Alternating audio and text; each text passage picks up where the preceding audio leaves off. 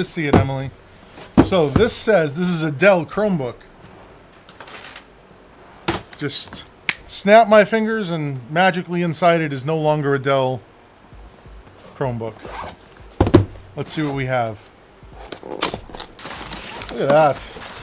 I am a magic, magic man. Let's see what this message was. There's a, a hidden message here. Make sure I always throw old. Hmm, don't know. Can't read it. I got an offer of $150. The keyboard is 30 I have it listed for $35. That's not expensive. if you think that's expensive, Carrion, you need to stop buying minifigs. It's not a Chromebook.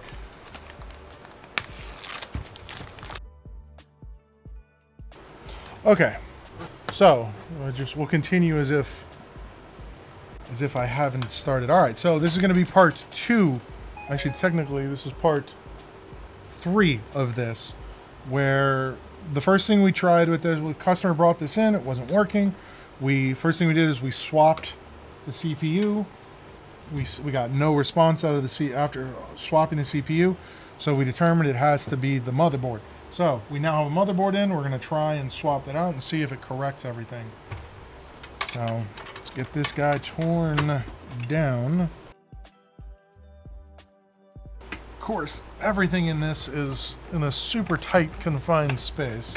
So to get this motherboard out, let me magnetize this a little bit better.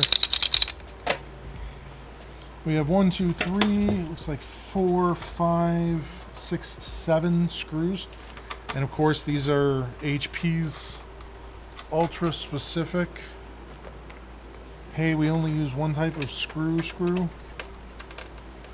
I still think HP back in the like 90s was like, you know, we're, we're only ever going to use one type of screw. Let's get a billion of them. And they're just sitting on them. And that's why they're in everything. And they're too stubborn to upgrade to regular old Phillips head screws.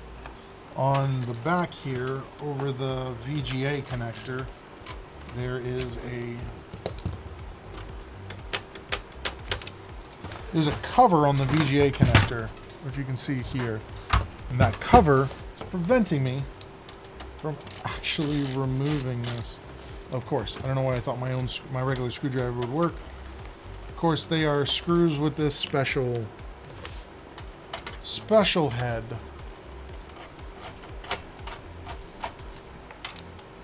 That plate, of course, preventing anything from coming out. So now that comes up, and of course, this, this wouldn't be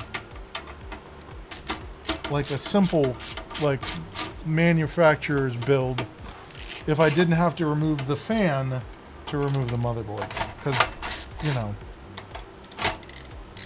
why? Why wouldn't you want to remove the fan if you're replacing a motherboard, right?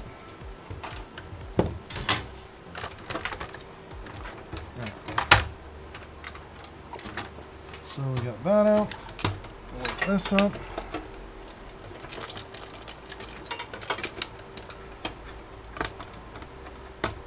That out of there. This proprietary power connection. And this four pin power connection. Get that out of there. All right.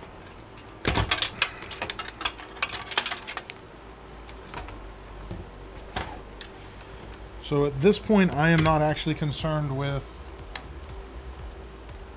whether like it'll load into Windows. At this point, I am only concerned with finding out if this will just give me a video display at all.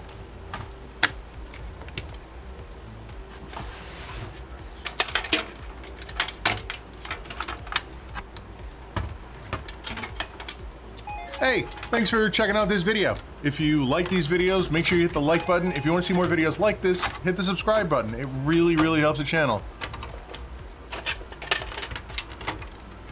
All right, new motherboard lined up. Probably actually just remove this now. There we go.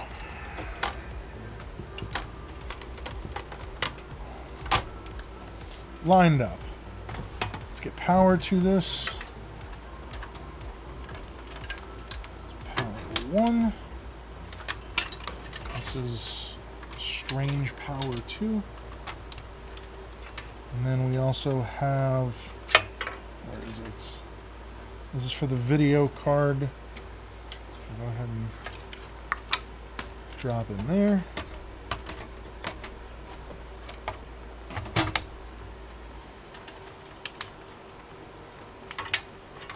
Not the video card. This is that power. Goes, that one goes there. CPU connector.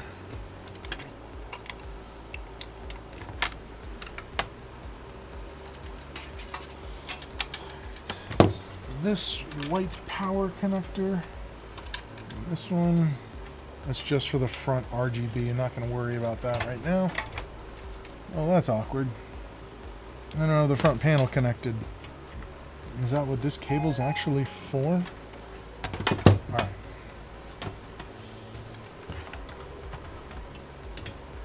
Power.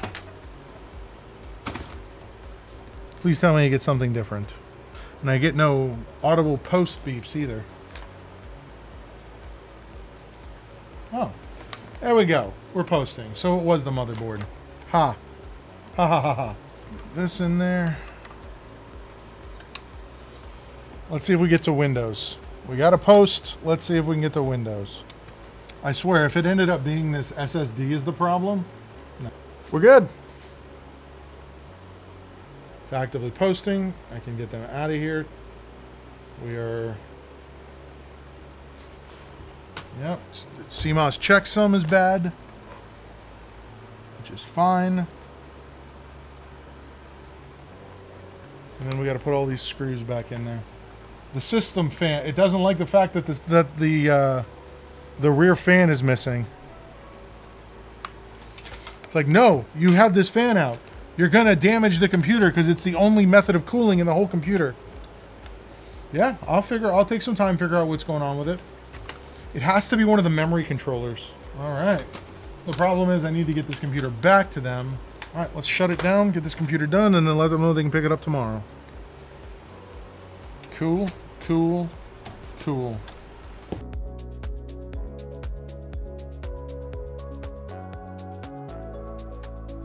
You know, visually inspecting this, I don't see anything wrong. But that doesn't mean there isn't. No, no shroud for the fan. All right, so I got the new motherboard installed and it looks like everything's working. All right, so with the new motherboard, um, it, it came in with the USB port damaged, but it's the other one. You know how on your like the, on the when you brought it in, the bottom USB port was damaged. On the new one, the top one is damaged. yeah, so it's exactly reversed. I can just I can take the USB port off of the old motherboard and swap it over. Okay, yeah. When it's when I get it done, I'll give you a call. All right, we're swapping the port, boys. So we'll we'll do some soldering on this in the morning. This will be part four.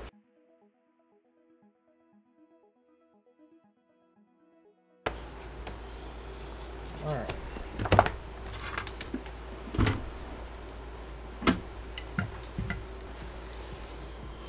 All right, we got that. We got this. We got this. We have our three solder wicks.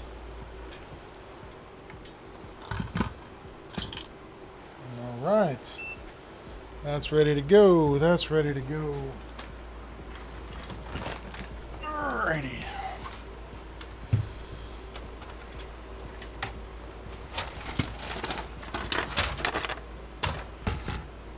All right, which one of these is good? So let's do, this is the bad one. So this is bad. This is good. So, here's what we're gonna do. We're gonna do a test removal on this one. See how that works out. And then we're gonna we're gonna test our solder wick. This is one of the new ones, and then this is the other of the new ones. Both of them are looking pretty good. They're still not as tight as this. But they're it's it's pretty close. It's pretty close. We're to see. So let's start off with some flux. Grab some low melt solder.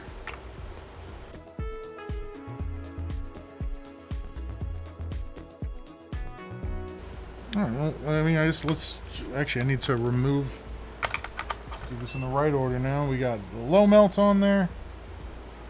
That, that, all that, that.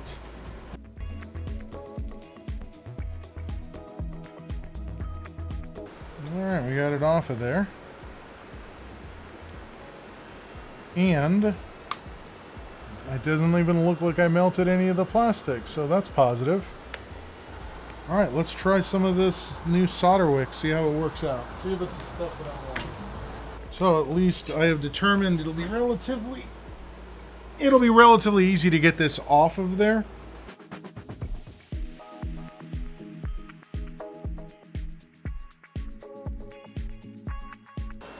Alright, let's get this other port off of the board.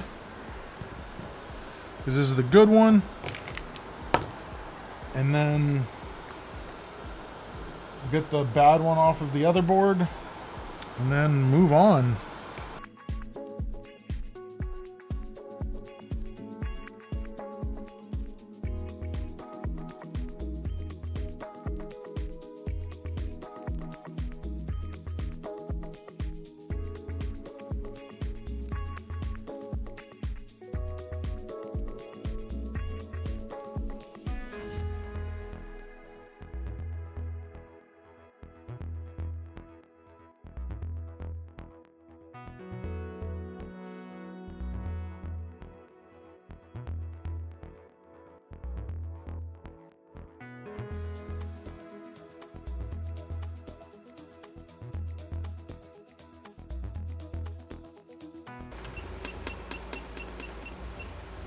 Go down to 10% airflow so I don't blow this component off.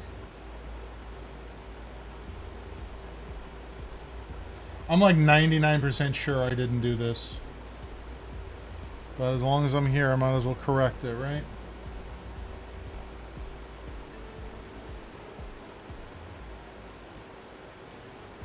There you go. Beautiful. All right. Look at that. Leaving it better than it came to me. that's my always my goal, isn't it?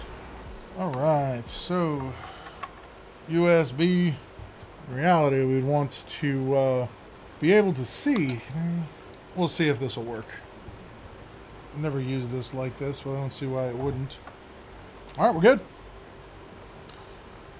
All tested continuity.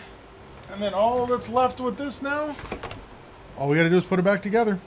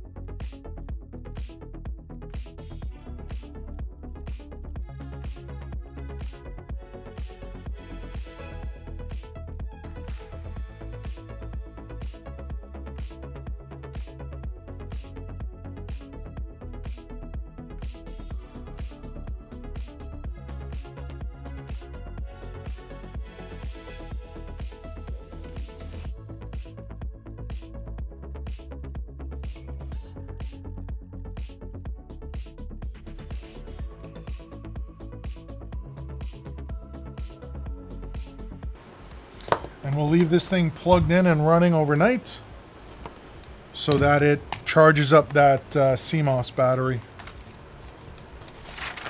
That's it, folks.